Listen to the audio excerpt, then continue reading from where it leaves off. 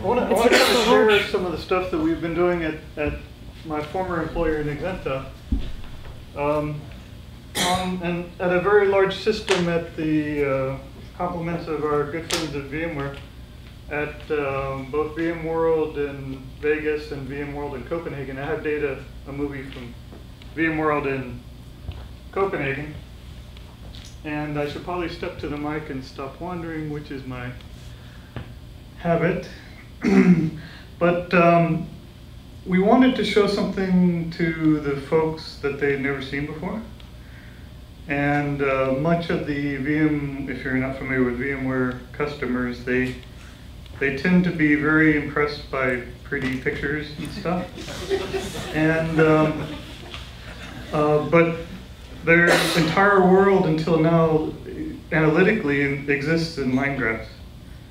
And uh, obviously, line graphs are a problem, especially when you have a lot of systems going. So to kind of give you an idea, then what, what, what I'll be showing you is, um, okay, we have some line graphs.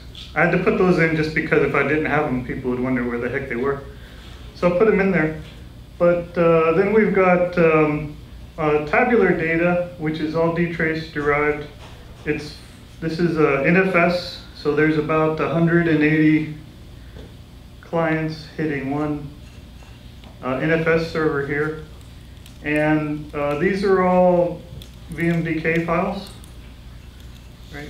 And then we've got, you know, operations. We can sort by the tables. We got operations, we got their bandwidth, latency, um, bandwidth to lay product, which actually is really darn handy to measure, and I can do all that in dtrace, do the math there.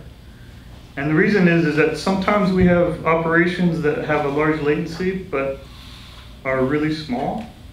So if I sort by latency, I get the wrong list. Other times I have operations like in a storage vMotion that you'll be seeing, where I have a whole bunch of bandwidth going, but the latency is real, real small. So I'm chewing up a lot of bandwidth, but very little latency. And so we just multiply those together, get the bandwidth delay product, and that gives me something interesting to sort, where I can actually say, hey, this is a VMDK that's being hit by this client that's in this, in this measure, right? Um, and then uh, the, the graphical part that we showed that was new is, is um, uh, this is a concept taken from the genomics people uh, in their Circos charts. And we've got uh, the orange, um, for those of you who don't know, Nexenta's colors are orange and green. So we have the Exenta box, um, the server is orange. This is the top 10 clients plus everybody else. Uh, the size, the height of their pie is related to the number of NFS ops. Uh, Inside here is a small area graph, or bar graph really, that shows uh, read and write ratios. Um, then the color shade of green will change. This is alignment, which is another column in the table that's not shown here. And that NetApp, which is arguably one of our competitors um, in Nexenta, NetApp has a lot of documentation about VMDKs and VMware and alignment and how incredibly important it is. And I've never seen that with any of my instrumentation, that there was an impact on alignment on NFS performance. So we said, well, we'll just show that to you and uh, you can judge for yourself. So uh, the shaded green is how well they're aligned. Uh, and sometimes you'll see very low latency, very bad alignment. Not surprising. Um, so then we've got, uh, what else do we have to show here? Oh, the chords between the server and each of the clients, the width of the chord is indication of bandwidth in the direction of data travel. And then the color of the chord is latency. Okay, so there's an awful lot of operational data that is immediately visible, but the real key to the OR graph here is there are no numbers at all. Right, so very much like Brendan's heat maps, I can look at this very quickly and have an idea of what's going on in the system across, you know, a large, substantial 185 clients, um, and see where the data flows are. So let me kind of get that kicked off. And this runs for about 10 minutes, but you'll get a pretty good idea of it in, um, you know, fairly quickly here. Um, the uh, Uh, and one of the other things about this is this sort of a technique is very useful for operations. Um, for performance guys, maybe not so much. We really want to get into the dtrace stuff, uh, the heat maps and so forth. But for operations, we really want to quickly look and say, all right, how's my system operating? Is data flowing? Um, in the uh, in the latency in the center, right? Red is bad. Um, lighter shades are better. Um, we can see in some cases, for example, here that sample had a whole lot of bandwidth being used. Uh, here we have a lot of misalignments. So in sort of a really quick period of time, I can very quickly glance at this chart and get an idea of how that, that NFS service is going. The entire back end is run through, through a dtrace uh, collection and then fed into the, you know, up into the grapher. Um, which actually brings me to the, to some of the irritating things about running this sort of stuff in production. And that is um, systemic, what, how's that go? A systemic performance problem, we kicked you off. Um, Or there's uh. Systemic unresponsiveness, yes, thank you.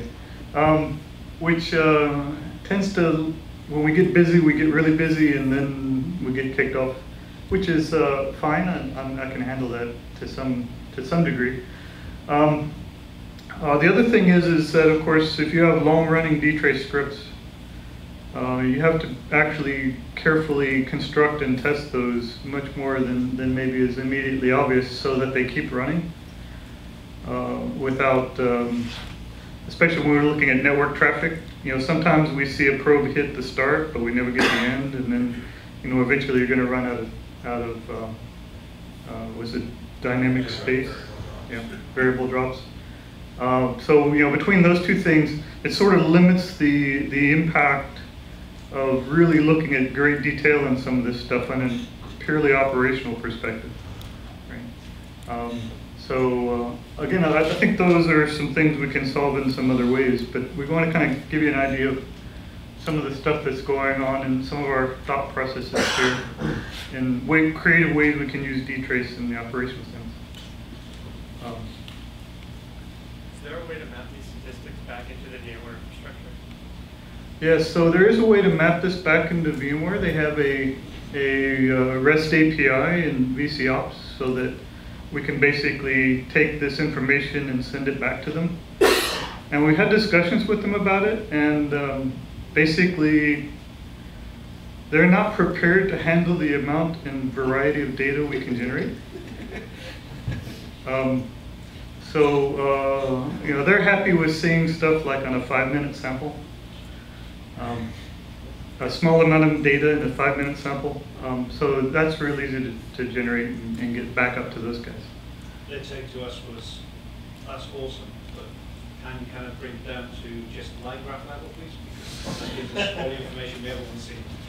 So yeah. even though they were sitting there and kind of going, hey, we've never seen some of this information before, they're just, their tool sets are just not aware of, or just don't seem to handle this sort of information. And we, we did have some interesting interesting discussions when we can, because we can pull apart these VMDKs, right, and tell you actually really what's going on inside the VMDK as well. And we're like, hey, we can dive down here. I can show you all kinds of crazy stuff you didn't want to know. Um, uh, and in fact, we find all kinds of strange and wonderful things uh, that maybe they're not so aware of. But you mean just by act, how the the blocks are being accessed in the image? Yeah, so in a VMDK, right, I can have multiple VMs sharing it. And so you can, it's an open format, so you can actually go down another level and, and tie it together. See who's doing what. One of the other things is, is that these guys are obsessed with IOPS, right? And they're IOP this and IOP that and IOP this and IOP that. And then, you know, I look at it and I say, look, dudes, I see a very different amount number of IOPS on the server side than you do in the client.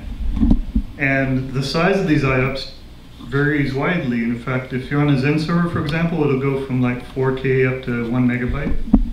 And you know, a thousand one megabyte IOPS is very different than a thousand 4K IOPS, right? And they were totally unaware of this. They're like, I'm all I'm doing is 4K writes, and it's like, oh, you think that's what you're doing.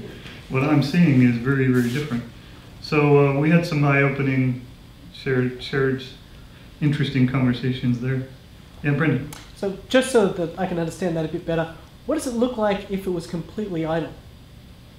Well, in, in completely idle, right? There's a, a base level of, of, of the size of the ring, Okay. uh, and then the chords would be, of course, basically empty, Okay. right? And if there's one client, what does it look like? So yeah, one client you'll see one client. So we had uh, interesting thing about this. We, we had all kinds of experimentation when we did this, and there you can actually have a whiplash effect in watching this stuff because you know if I start resizing everything and like resizing the number of slices in the pie based on load, um, then then your brain turns off and you can't grok it. It's sort of a very interesting human factors thing that that occurs, which is why we kind of settled here to this is the top 10 plus everybody else uh, kind of a move. If you got the version one video, I don't have the version 1 video here, but we can run one up you. right? yeah, there's, there's some you look at them and you're like, oh, I can't, that makes no sense. When did that happen? And, and it, it really is just a matter of the way we can present the data doesn't match the way your brain is going to think about a transition. So there, again, all these new things bring all kinds of new problems up to the surface. So anyway, um, it's something we wanted to share with you, and uh, hope you find something interesting and inspiring with it. And uh, uh, I really hope Nexenta takes it and runs with it as a product. Great. So uh, thanks. And Mark is next. Thanks.